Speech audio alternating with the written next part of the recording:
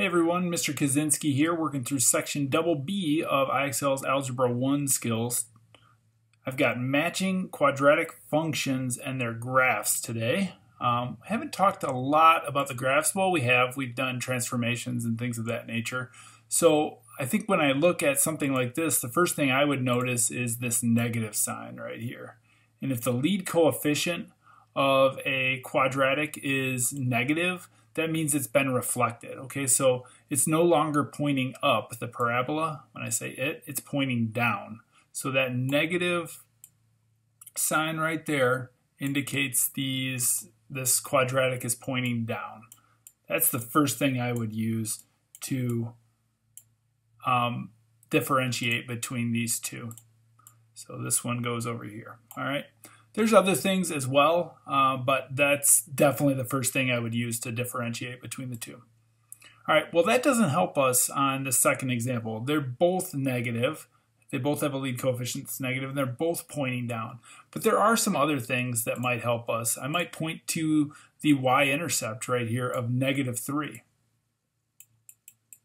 Okay, as opposed to uh, a y-intercept of negative 128 which is going to show up way down there. Okay, so that's enough um, to let us differentiate between these two. That This one is the negative x squared minus 3, and this one's the negative 2x squared plus 32x minus 128. So y-intercepts, huge thing too. Another thing on this one that might help differentiate is this 8 right here. So IXL does give us a lot of help on this skill in that they um, put it in factored form for us, the negative 2 times x minus 8 squared. And that 8 we know is a translation 8 units to the right. All right, and there's that vertex with the 8. So that might help us on other problems too. And then a third thing is this negative 2. That's a vertical stretch. So as opposed to down 1, right 1, this one actually goes down 2 right one before it hits another point. All right, so that idea of vertical stretch might help us too. All of these things are definitely going to help us as these problems get tougher. All right, so neither one of these have been reflected, but they do give us um, these um, these graphs in or these equations in factored form. And right there, using the zero product property, I can tell that its x-intercepts are 4 and 7. 4 and 7. Okay, as opposed to this one, whose x-intercepts are 0 and negative 5. 0 and negative 5. All right, so that's going to help me in differentiating between these two. Um, so g of x had the x-intercepts at 0 and negative 5. f of x had the x-intercepts at um, 4 and 7. Also, you know, just y-intercepts. This has got a plus 0 with it.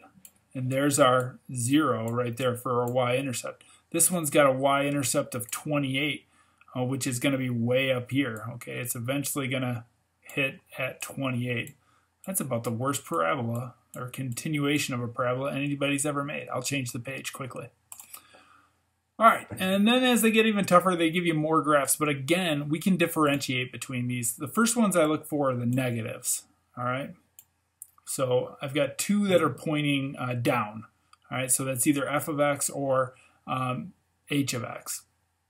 You know, h of x, I, I think I'd look at it as its y-intercept is negative 3, which is this one right here, negative 3. So that's going to be h of x. All right, and then the other one has got to be um, f of x. Also notice that it's got a um, vertical stretch of negative 2, and it's got only one y-intercept, positive 5.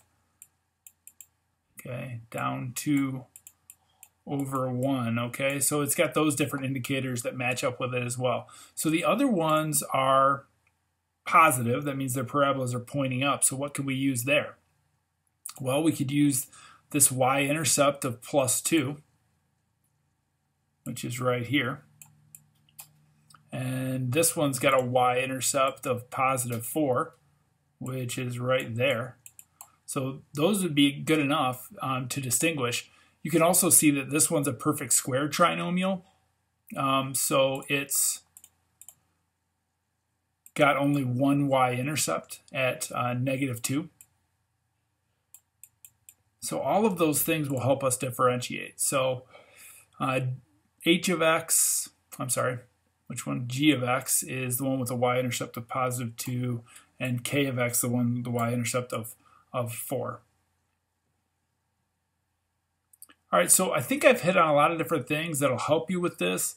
Um, y-intercepts, vertical stretches, um, x-intercepts, um, things of that nature. So let me know how it goes uh, in the comments, and if there's other things that you see that maybe I should add to this video, you can let me know that as well. Good luck.